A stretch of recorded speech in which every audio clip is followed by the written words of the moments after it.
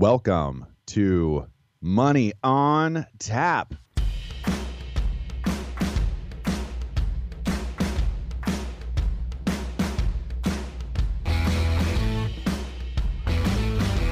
Money on Tap, your personal finance headquarters, where we bring out the professionals' experience and some fun in what we call three dimensional investing, utilizing insurance, brokerage, and fee based planning. That's what we do on this show. We look at all sides of the issues and we bring a fully independent planning perspective to the table. Welcome back. You're listening to Money on Tap. You can reach us at 855 226 8551 or info at yourmoneyontap.com com. So good to be here with you today. Uh, we have a heck of a show here for you. Uh, my name is Seth Krussman, and I'm here once again with Ben Brayshaw and Dan Mickelin. How are you guys doing? I'm doing great, Seth. How about you, Dan? Doing really good. Excited about the holiday season. Let's get into it. You know, hopefully you don't go bankrupt buying me gifts this year. Well, you know, I got plenty of room on that credit card, I guess. you sure? Hey, speaking of holidays, ho, ho, ho, how do you afford Christmas? Is the topic today. We've got some great, um, well, we've got some great experience as well. We're willing to share with you, but also we've got some advice here, some some ways that you can, um, you know, bring home the bacon, so to speak, uh, for the holidays. And uh, it, it's going to be. I don't think we've ever done this show. Do you? Nope. Do you remember ever doing the show? I think this will be a first. This will be a first. Cool. A new content, or you know, as always, we're it's always new content here with us. We're we're always bringing it to you with uh, the best of three dimensional investing. Uh, your personal finance headquarters. That's what we're doing here at Money on Tap. If you're new to Money on Tap, welcome.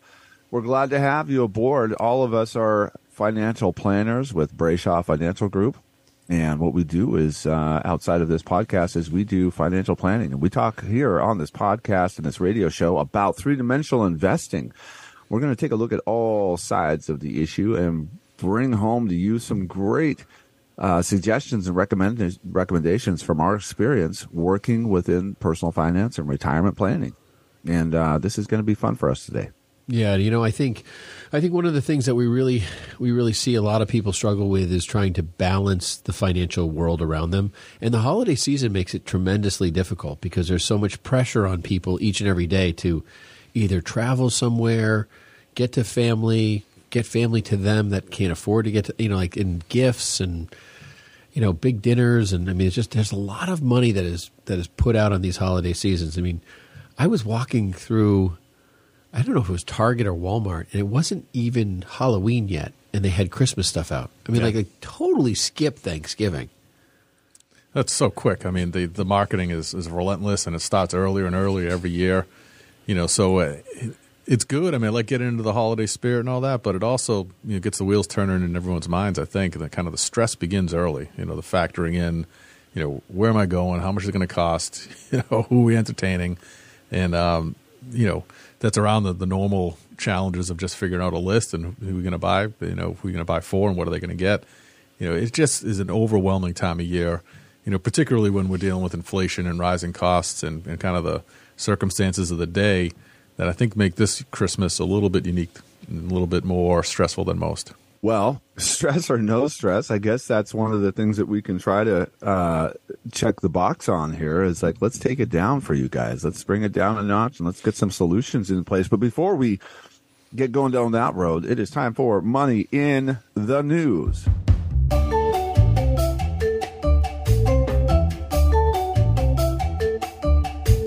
And first article of the day, we got, well, the first question Bob Iger must answer as Disney's CEO and this is from Alexandra Canal from Yahoo Finance.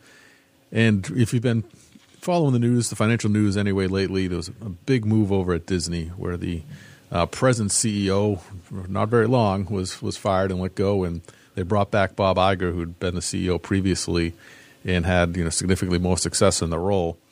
Uh, Disney's been in the news a lot. We've kind of covered that lately here on the show. A lot of it having to do with you know kind of the political stuff around education and, and the kind of squabbles between Disney, the entity, and the governor there in Florida. Uh, but this is a little bit different. You know, I think this will be probably welcome local local Yeah. news for sure. Um, kind of bringing back in Iger, but really the, the focus of the article and the, and the changes to be expected to help Disney uh, better perform are less related to the political stuff and uh, more to do with their streaming services. Yeah, they lost eight billion dollars uh, in their streaming services, and they're expected to lose another three billion in the first quarter of uh, of next year. And it's you know for a world that people are streaming more and more, you know, and and the streaming industry alone is expected to have some losses in the first quarter. I mean that is kind of an expected scenario. But I mean for a stock like Disney, which was up in the high 100s, like 185 or you know 190 even, I think. Um, I don't- did it cross 200? I think it did. Yeah.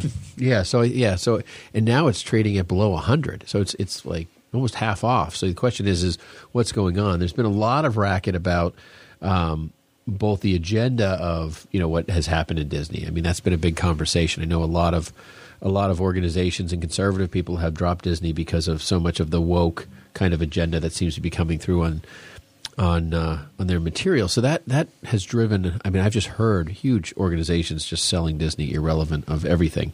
Um, and then to have a streaming hit like this, I mean, that is probably, I think, potentially part of that story too. I mean, there's a big conservative, you know, push against Disney, and I think that they're experiencing a portion of that because they're outpacing the downward trend of, of the general of the general streaming world for an organization that is literally content and entertainment driven only. Like they are the pinnacle name, you know, uh, of of of video content. You know, when when you know, first off, the stocks responded to the news. By the way, you know, it's up Yeah. about ten percent in the Yeah. last few days. You know, based upon this change of leadership.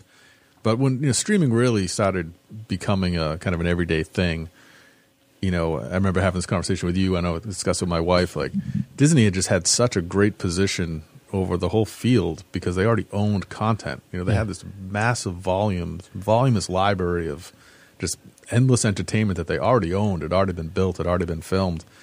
You know, so for them to somehow manage to not, you know, hold that top spot in the streaming world is, you know, something's going wrong there. Yeah, no, exactly. It's it's just a completely fundamental, you know, breakdown on on. on I mean, you're right. I mean, they they literally have the most content in the most languages as well. Yeah, everyone else is going to go and make stuff, right? Netflix is going to go produce movies and shows and, and Prime and, all- and all their competitors. You know, you know. So for them to enter the market with thousands and thousands and thousands of hours of content that they know sells. I mean, this stuff is all hits. You know, uh, so for them to somehow screw that up, you know, there's something going on. There. I, I really do believe that they're experiencing a lot of headwind from the conservative side of this. I, I think they really are. I think w- way more than they're even going to give credit to. So Yeah, it's um, it's interesting when you t- start taking a look at what's happened in the relationship here with the market and uh, Disney, and some of those, you know, some of those stories that have come across our desk around Disney and their political stances and and the direction that the company's going. It's um, it's interesting to see. When we went back to the 2020, it was like an eighty-seven dollar stock um, and that was you know COVID related and the fall off there. Uh, but there was no question about whether or not you were buying Disney at hundred bucks. You know, and now to take a look at what the price is today at around, you know, it depends on the day, roughly 90, 97, a hundred dollars again. Is Disney one of those places where you feel like it's going to continue to produce a success, successful story? Um, how they've botched, I guess, is the, the, the term around streaming. It's I'm cu- really curious to find that out as well because again, the the catalog that you're talking about that they have, the names like Marvel and all of this stuff. I mean, just turn on the. I assume you have Disney Plus as a streaming service. If you just turn it on, it's like what what don't you have there? You could. I mean, there's something there for everybody, and then it's so and it's such a vast library. It gets me to almost just completely cancel any net you know Netflix subscription or anything else out there that's producing content. But I don't know. I'm really curious to find out what's going on there. And uh, I mean, as as a whole, I'm we're still a Disney family. We're still buying Disney, and we're still you know investing our ourselves probably more than we should into the Disney story. Yeah, I mean, and the other thing is so that is the Disney Plus streaming service, which we're all familiar with. I mean, you get your Star Wars there, all the the children's shows. I mean, just tremendous, timeless content. You know, but they also have ESPN and Hulu, and you know, ESPN's had its ups and downs for sure. You know, but Hulu is a you know that's my streaming service. You know, that's where I get my TV. I think it's a great deal, and um, so you know, one of the potential remedies here is is some kind of a combination of the three separate services, which I think you know potentially makes sense for them. It's interesting because I was, uh, you know, I subscribe to, you know, Disney and I think Disney came with my Verizon plan. so, I, you know, so I got Disney and I've got Netflix, but I've also got PureFlix, which is like a like a kind of like just a generally good content. It's supposed to be like religious based, Christian based. I, and they actually have some pretty decent content too, and some of the kind of the pop culture Christian movies and stuff like that. But I mean, content is content, and it's it's it's a driving force for you know where the world's going. So if Disney can't get it figured out, someone's going to. Taylor Swift fans are a little bit miffed, to say the least. Um, you know, the, the Taylor Swift story is is one that, frankly, I'm I'm not. Come on, Seth. Be with. honest. Come on. You're a big fan. We know. Well, You're I'm going to look to my. I'm going to look over here to my ten year old daughter. You're and a probably, Swifty. Yeah, I know. Yeah, I couldn't get tickets either.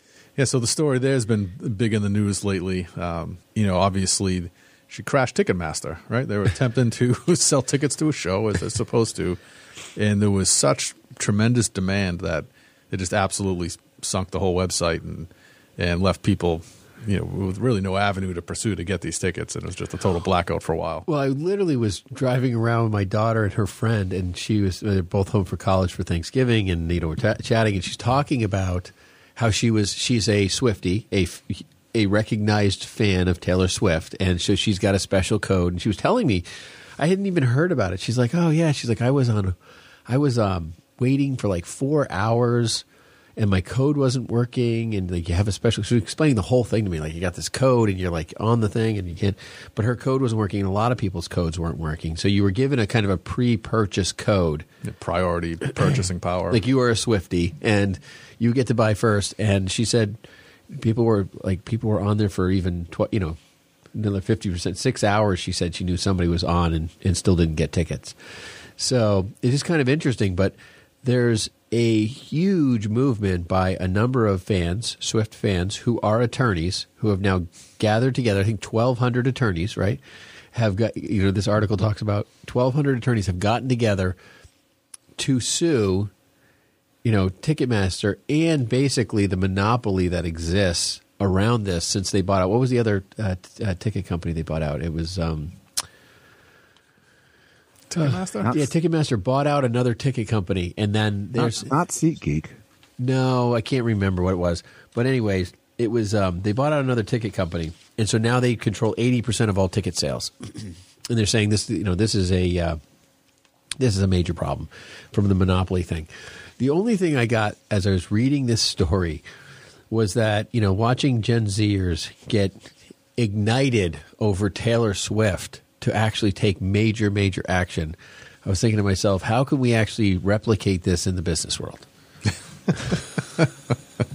Yeah, I don't know if you could find anything else that has 1,200 lawyer fans. You know, that's that's that's a big number. That's a big number, but it. I mean, it literally crashed their system left and right. And, and some of the fallout from this, and, and I'm not a Swifty, so I wasn't exactly you know following the story with bated breath, but I did see some interesting news come forward about this dynamic pricing, which is which is part of Ticketmaster's issue here, where they'll you know launch ticket sales of a given show, you know preset at whatever the, the the general pricing would be, you know based upon you know how close and how good the tickets are. Uh, but once they hit the market, the pricing begins to evolve based upon you know volume of sales and how many people are competing for a given seat, and the prices can absolutely skyrocket, and that's what we saw a lot of here. Is just prices going up three, four, five hundred percent instantaneously based upon front who's- row front row seats at Taylor Swift were selling for thirty thousand dollars. Whoa. Thirty Holy thousand cow. dollars a ticket. That is crazy. Yeah, and you know, I can't imagine anybody willing to pay it, but apparently there are. Um, but I, I, did see a sort of kind of follow up interviews with other artists who use Ticketmaster and this dynamic pricing. Know, one of them was Bruce Springsteen, and he'd um, he commented, you know, a couple things, you know, that I thought were interesting and, and more truthful than I expected to hear, quite honestly. But you know, he essentially said he's been, you know, in his opinion, discounting ticket sales for over his long career, and you know, him and the band are kind of getting towards the end of the touring rope, perhaps, and you know, his perspective on it was, well, you know, everybody else is doing this and kind of reaping the benefits, so we figured we'd give it a shot this time around. And as well, you know, these these inflated ticket prices, you know, rather than go into the pockets of scalpers and people who work in the secondary seating market, you know, why shouldn't it go to the artist? Was his perspective. Which again, you know, I still wouldn't spend the money. I'm not necessarily a Springsteen fan, but I did find that to be kind of a more honest than expected answer. Yeah, so it was Live Nation was who uh, they merged with. So mer- uh, Live Nation and Ticketmaster merged in 2010, um, and then that created the antitrust issue with the monopolies, and and so and then they've started creating this dynamic pricing, which has sent this whole thing into craziness. And it's kind of interesting. I mean, when you think about it, it's I mean, I get the fact that hey, these tickets sell and then they keep marking it up, and that actually happens in art. I, you know, so if you like, there's uh, I was at this walking by, I saw this beautiful ocean art, and I was like, oh, that's super interesting. I just want to go in and look, and they were selling these photographs for large amounts of money, which were outrageous in my mind. But at the end of the day, when we were, uh, she was explaining to me, she's like, "Well, this is the first one that would sell, so."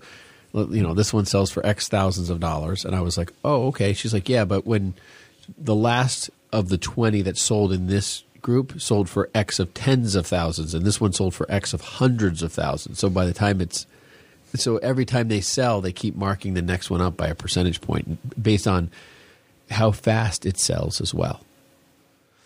So, like if you buy one and then someone buys one immediately right after, the price jumps a certain level. But if you sell one and it's like two months later, one sells, it might not jump as much. And when you get a thousand, well, not a thousand, thousands of people in a waiting room online, you know, with a credit card handy and, you know, just feverish to get their hands on tickets, you can see how some gouging's probably taking place there. Oh, yeah, absolutely.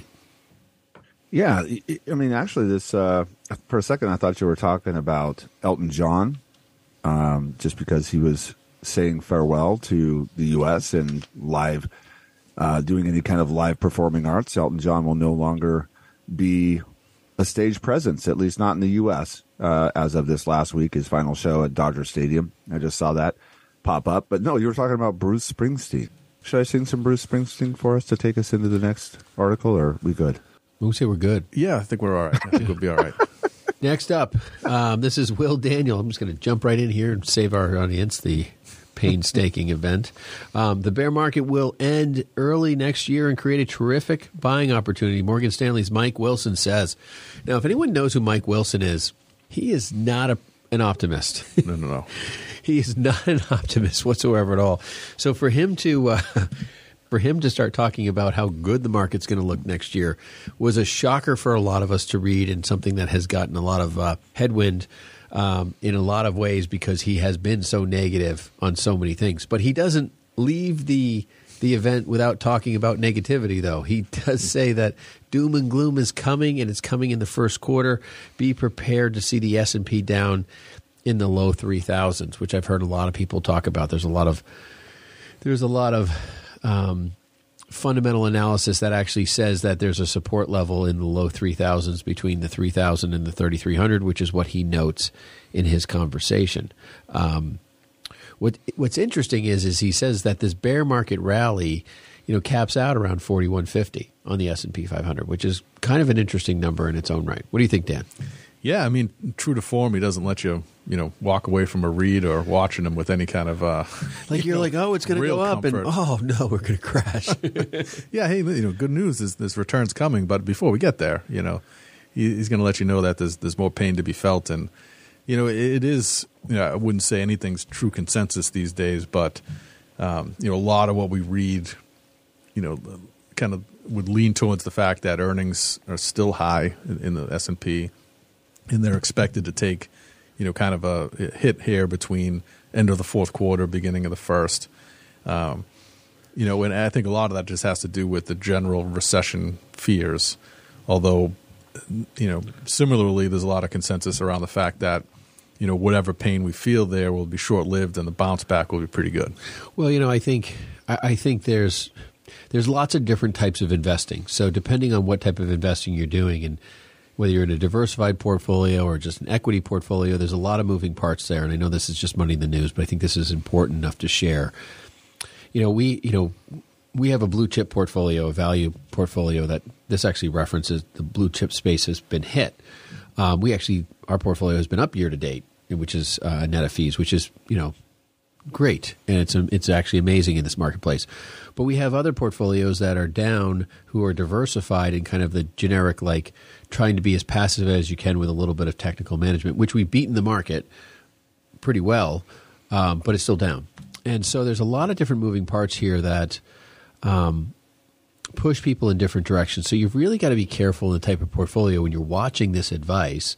And this guy's talking about how to do because we talked about on our last show that historically 19 out of the last 19 midterm elections, so 100% of the time, the market's been up 12 months later.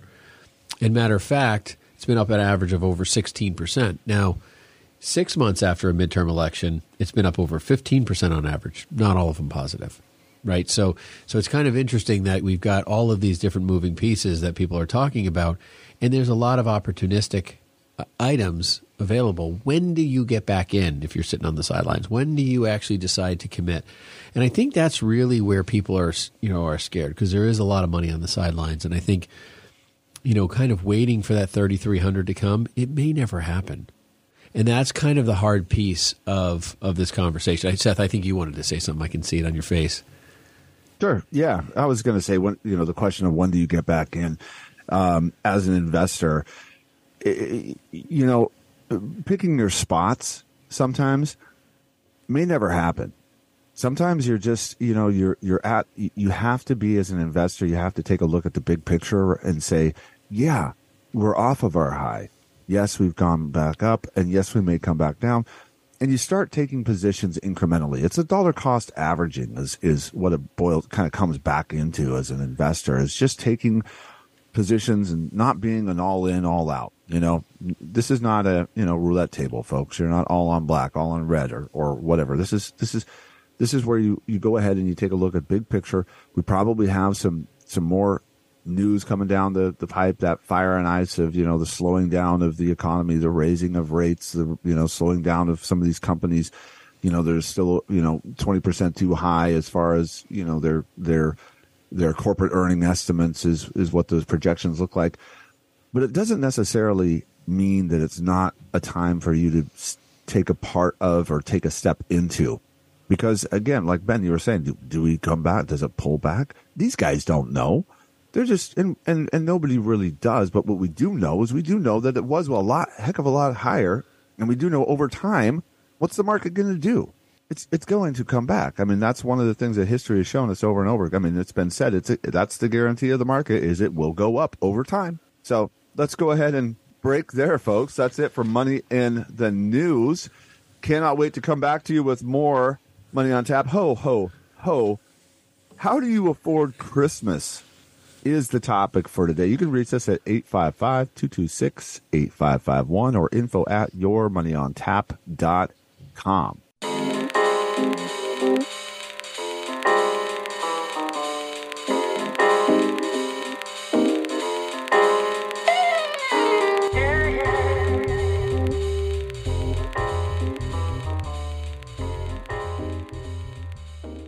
folks, we have a lot of fun doing this show, uh, Money on Tap, and uh, and Ben and I have been financial planners for years and years, and our goal here with you is to bring you into the room, have the conversations that we have. We think these are critical conversations for you, but we understand this is a limited space.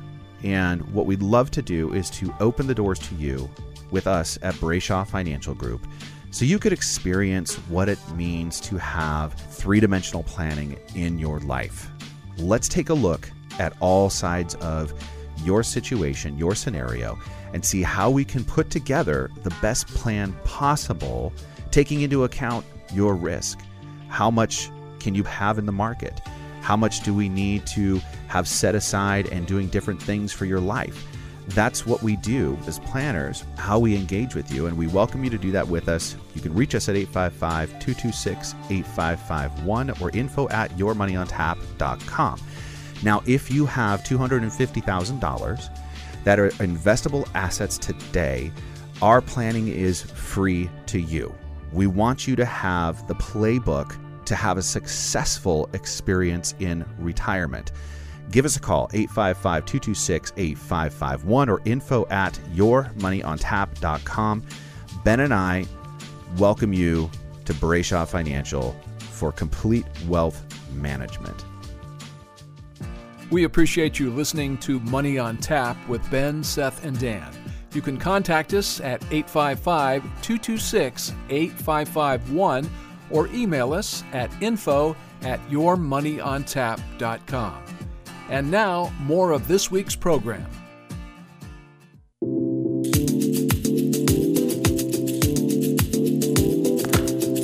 Welcome back. You're listening to Money on Tap. You can reach us at 855 226 8551 or info at yourmoneyontap.com. We're talking about ho, ho, ho. How do you afford Christmas? This year may be more of the, the uh, that might be more of the, the topic of conversation that folks had around that Thanksgiving table.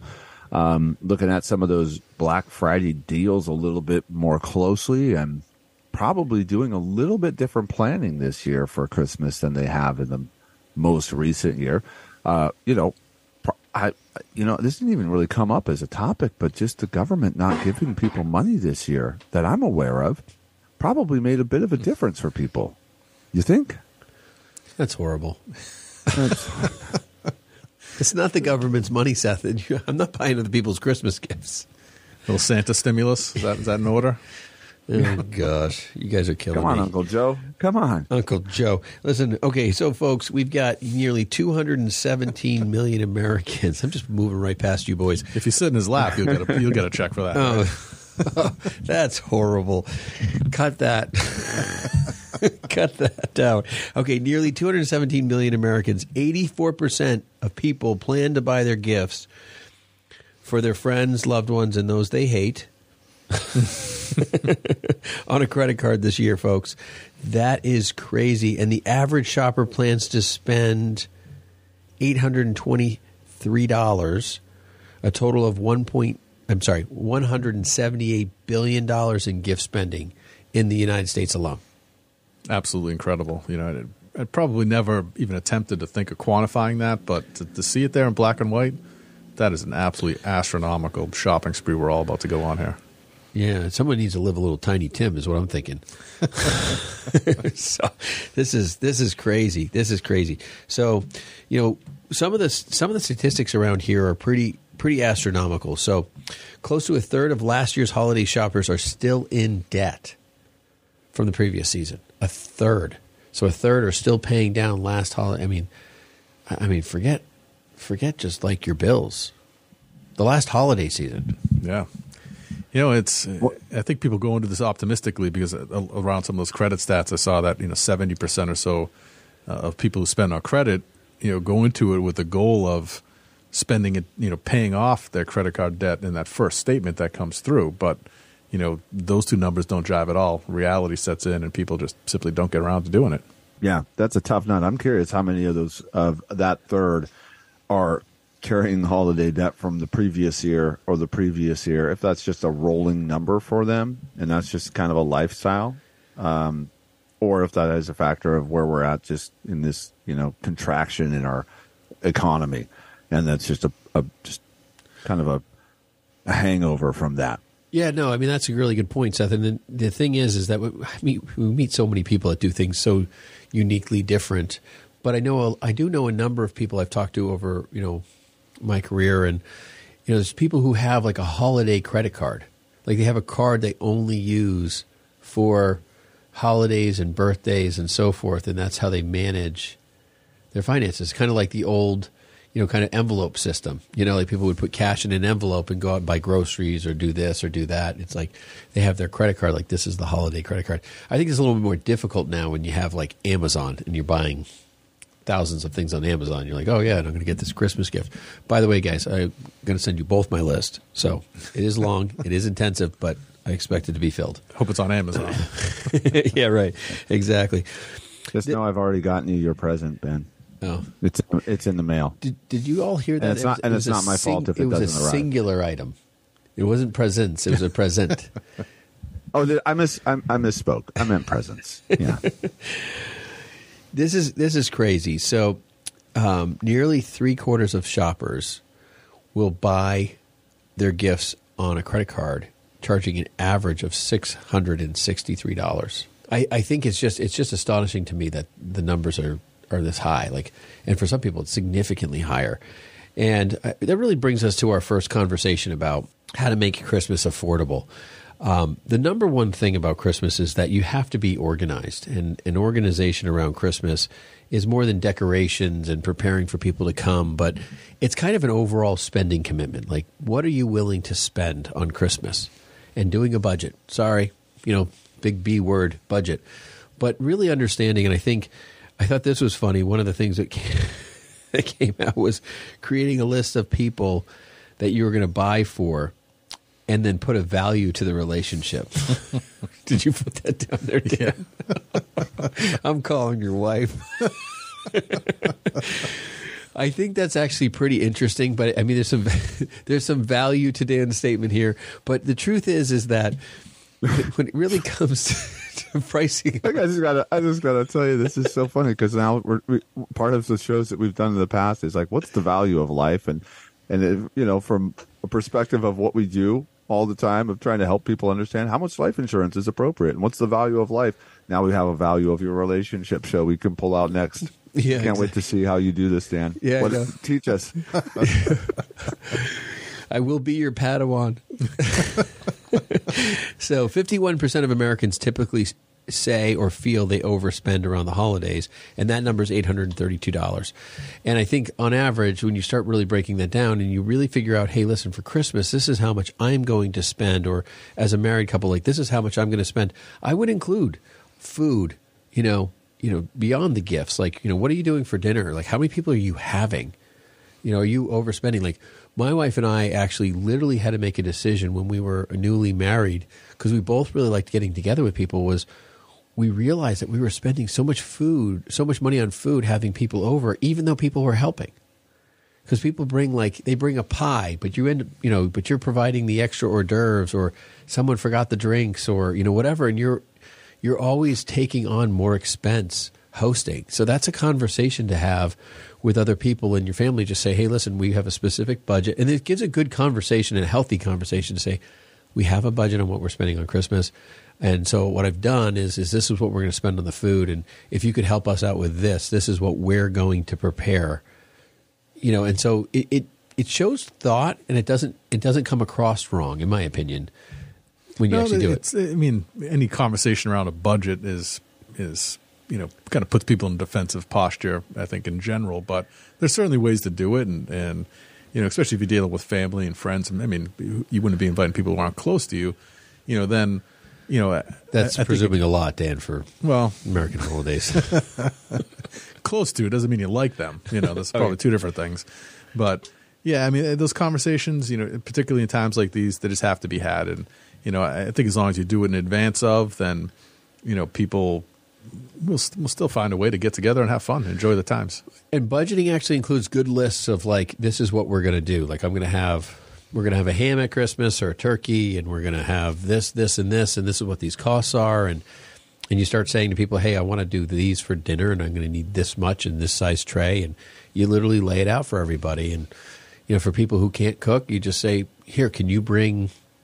the- You know, really, really get into it. And the fact that you're taking that much conscious effort, they understand you're taking this seriously. Everyone knows inflation is here, right? I mean, this is really the reason we're having this conversation. Is inflation's here, and how do you mitigate the cost of the world around us today so that it's like last year, the year before? How does it make it more financially possible? Yeah, I mean, we, we did a show last week about Thanksgiving uh, costing on average 20% more this year. So, um, reasonably safe to assume Christmas will, will be the same. And turkeys on, are on sale right now. You know, right. that's the one thing. After after a holiday, that's the one piece that you can take advantage of. So maybe now's the time to buy the turkey for Christmas. Yeah, and, and after all this, you know, the, the, statistics tell us about 37% of people actually prepare a budget for Christmas. So, um, you know, for the rest of us, and you know, I got to put myself in the kind of the larger portion there, you know, just roaming through the mall without a list in mind or a budget in mind, just kind of doing that last second shopping, um, you know, can certainly be painful. I got to tell you though, my wife's like uh, she's on top of this. I mean, she literally has a dollar amount that she spends on every kid, and then I'll be like, "Yeah, well, you know, I got this for." Well, she's like, "What did you do?" Like, I've literally have you know. So she has a very organized perspective of the financial piece of that, which is funny because you know I'm the financial planner and she's planning this all. Th- so I think that that's really I do appreciate that a lot about her, just organizing that. Um, but she also is very conscious of how many gifts kids are opening too. So with our kids, she wants to make sure she's spending the same amount and that there's at least something for all of them to open at the same time as they're going through it so someone doesn't feel like they got 10 gifts and someone else got two and you're like you hate me and meanwhile one person got a computer and somebody else got a, five lego sets yeah, I, don't i don't have that at home my, my problem is, is the opposite you know, we we have this conversation early on about okay this is what everyone's going to get you know and then i'm done i'm done i'm done she's never done. She's never done. I got to tell you, Ben, Kim sounds a lot like my mom, and I mean that in the best way possible. That is exactly how my mom would do things for Christmas for the for any and it still happens to this day for the grandkids and that's just everything is very thought out to the number to the dollar amount and and equal. And I can appreciate that. That's a really that's a real act of service and love. Um, now, I got a couple of stories here, and I need some. Actually, this is this is something that just popped up while we were talking. Um, this last weekend, careful, folks. That's off script. yeah, she had a cheer. She had a cheer competition, so that's not really that, that's neither here nor there. But we, during this big break, we were like, "Well, let's go to Costco, and we're going to get our Thanksgiving shopping done." But when we left shop, uh, Costco and we're checking, first of all, we, we got the bill and we're like, oh my gosh, like how many people are we feeding for Thanksgiving? And um, and it's a fair amount, but anyways, we're just moving on. We got to get back to the cheer competition. We're running late. Got to go see this, and uh, we're checking out. You know how they like take your receipt and they double check what you've got. They're like, "Well, did you get two tomatoes?" And we look at each other and we're like, "No, we didn't." But you know what? How much are tomatoes? We got to go. We'll we'll come back and whatever. It's like 10 bucks. We'll figure it out. Well, last night we pull out the, the receipt. We spent $150 on tomatoes somehow. Apparently, we bought two cases or whatever of tomatoes. So, oh. folks, that's one way you don't save money for Thanksgiving. don't buy that many tomatoes. And I don't know, maybe just do a little bit of um, not backed into the corner on your timeline. Give yourself a little bit of time at the checkout stand and just make sure that you're you're you're you're spending the money on what you wanted to spend the money on. Yeah, no, that's a that's a good point. It's just really being in articulating the gifts. You know, I think, you know, and that's and that's what I was talking about. Like, I I think there's a lot to be said when you're really caring that much about how much you're spending on somebody, and you know how many gifts you're doing. All of those things they communicate other other forms of love and intent. And I think that's what you were speaking to, Seth, about the ladies there. Um, one of the things that I, you know, one of the things I was thinking about. Um, there's two things. There's two ways of saving money for Christmas that have come up in my in my world.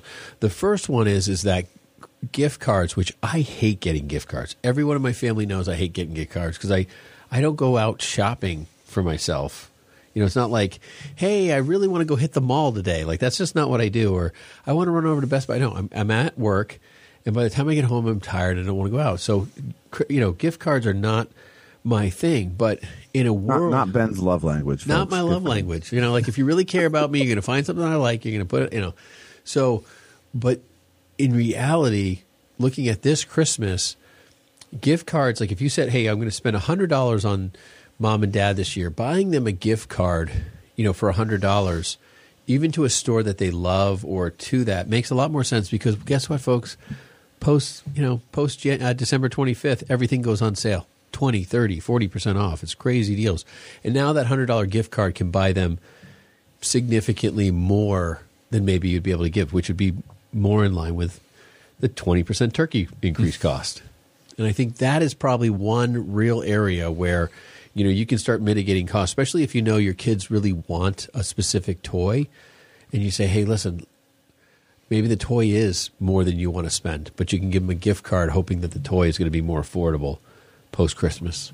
So yeah, and I think you know a great technique is always, um, you know, if you are, you know, f- for me, I, I, I start out with a list, but I probably do more grazing than I should, and just kind of, you know, walking my way around the racks and, and picking and choosing.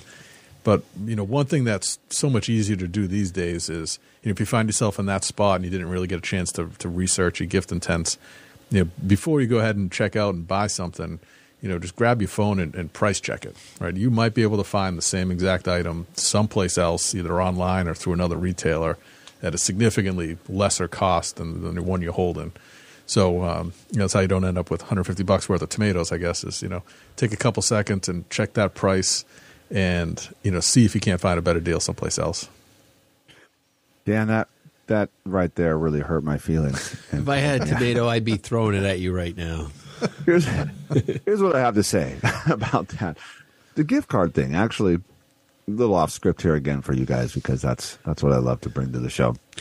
You know what? We've got this. We we actually have a collection of gift cards. I don't know if anybody out there, you know, has this like, you know, Ziploc baggie in the drawer oh in God. the kitchen exactly. or whatever. That's what I do. You, you know what you know what I'm talking about? yes. You've got all this all these gift cards that you've been given and some of them are for restaurants and some of them for for whatever. But you know what we take is we, we take those gift cards and we go out and we specifically have the intention of using the gift cards to try to purchase the presents for people in on our lists. Okay, so they're getting used. And Ben, I, I, I apologize. Part of your gifts that are on the way just might be some gift cards. And for Ben, you know, his love language is really just the anticipation of receiving a gift. So what I'm going to give to Ben is is let him know for the rest of the year that, you know, it's in the mail so that he feels that he's always being thought of throughout the year.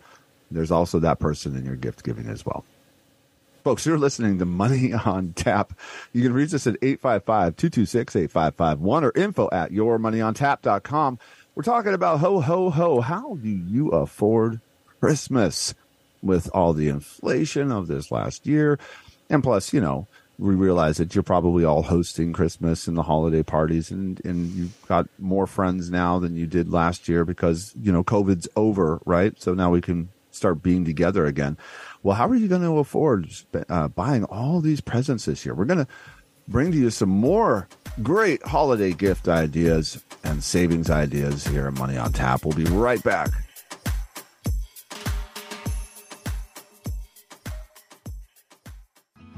For a number of our listeners, they have a lot of questions, and you might be one of them. Today, we're just offering what we call Zoominars, webinars over Zoom meeting rooms where we have top experts, Social Security, estate planning, and financial planning experts for you to speak with, do a private consultation that way today. We're also having webinar based Zoominars where we're going to have multiple groups where you can be part of that and enjoy that as well. Give us a call at 855 226 8551 or email us at info at yourmoneyontap.com to schedule your Zoominar. You can reach us at 855 226 8551 or email us at info at yourmoneyontap.com. And now, more Money on Tap with Ben, Seth, and Dan.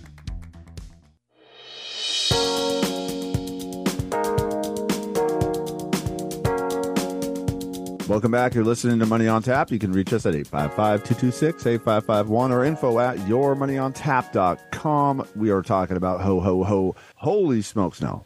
do you, how do you afford Christmas this year? And, um, you know, one of the things that is just part of what we're doing this year, and we talk to the kids about this, and this actually is what they would like to do. And inflation does not uh, truly affect this.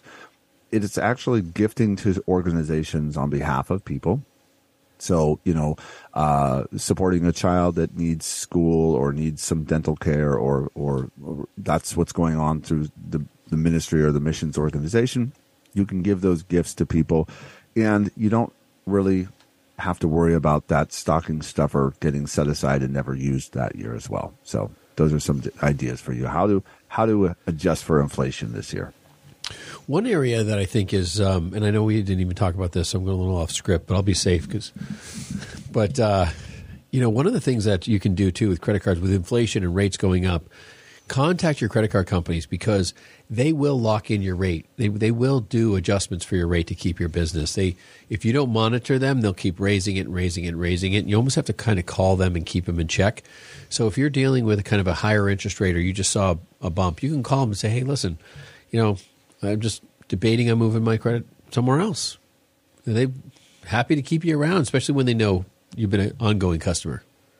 Yeah, and if you're going to be in touch with your credit card companies too, the other thing to, to check out is to see if you have any accumulated points. Right, you, Yeah. you may have more value banked there based upon your shopping habits and the balances you carry you know, that allow you to get some kind of freebie gifts based upon those those accrued balances that you have.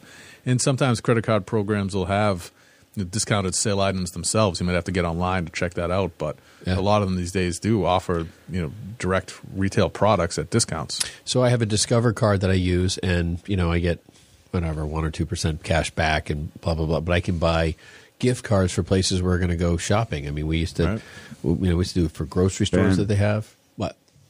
Did you just say that you're giving gift cards, but you don't like getting gift cards? Well, now I'm doing it this year because of our new show. Oh, okay. Okay. All right. I'm following my advice. And another thing too is uh, kind of the, the do-it-yourself gift or giving the gift of time, and, and this is one that you know I've always appreciated when it came my way. You know, the, you know some of the things that I saw as examples and times thereof. You know, offering to cook somebody a meal. You know, Yeah. sit down, break bread. You know, come in with the food prepared, and and a lot of people out there are more interested in the experience than you know unwrapping that gift that they'll never use, kind of a thing. So you know, that's a good opportunity, or or if you if you know a couple with young children, offering to babysit and kind of give give them an opportunity to get a night out on their own.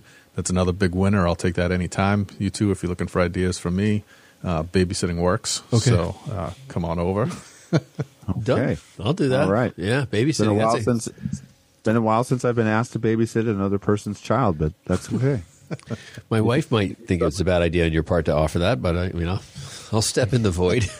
as, long as I leave with three and come home to three, we're good. So that's well, you know, okay, so I'm going to give you, I'm going to give some kind of very, very drastic ideas for approaching Christmas for people who may really be struggling to figure out how to afford it in this in this environment, and they want to do something. So, first drastic idea is to not celebrate Christmas on Christmas. I know people that actually do Christmas on New Year's. They do Christmas on New Year's Day as a family, and they buy all their gifts from December 26th to New Year's, and they spend a very specific amount of money. That sounds very Canadian of you. I don't know why, but that sounds very Canadian. Very close. I'm very close to the border. So that's that's that's the that's one thing that's very interesting. I also know people that just do Yankee swaps. We do a Yankee swap at our house for all the adults. You know, among our you know my brother-in-law and sister-in-law, everybody. We just do Yankee swap, um, or we do name picking. It, it varies year to year. I'm not part of that voting pool. Never was invited to it. I'm just told which one I'm doing.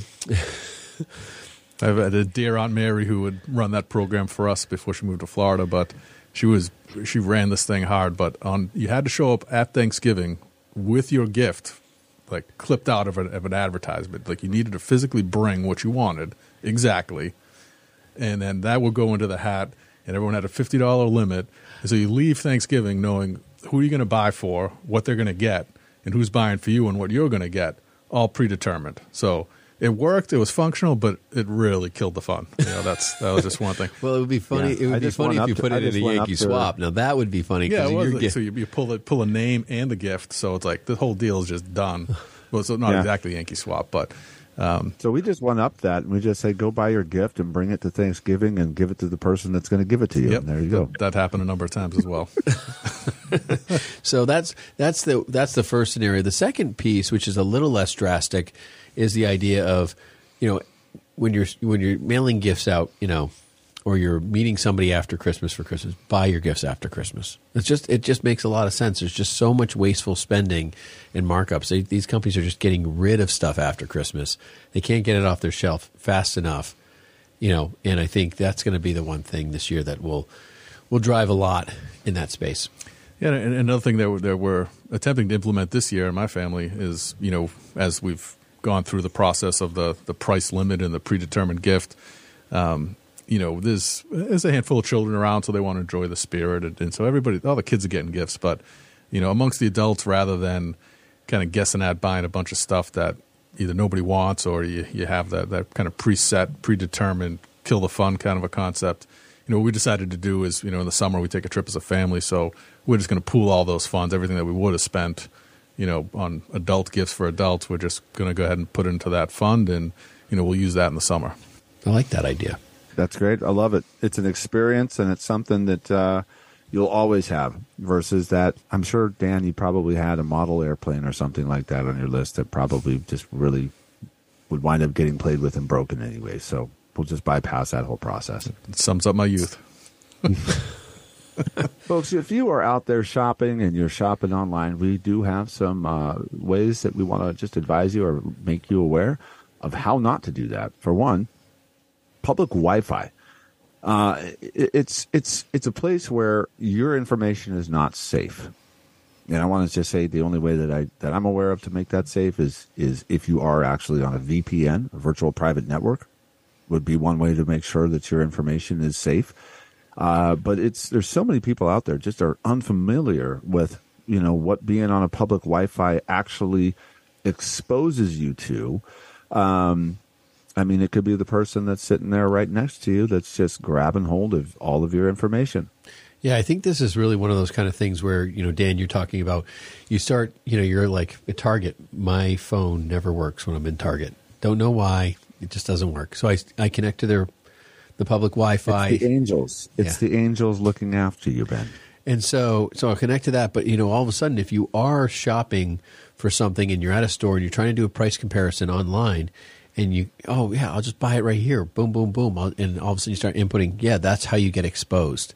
And that is a big item especially when you're kind of doing that cross.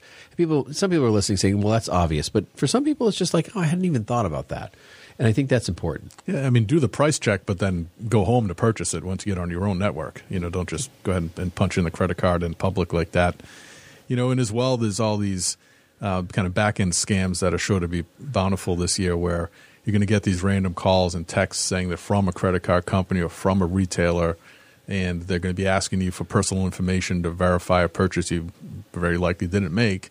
And you can find yourself in a trap there pretty quickly if they do get lucky and, and you happen to get that bogus call purported to be from a retailer that you actually shopped at.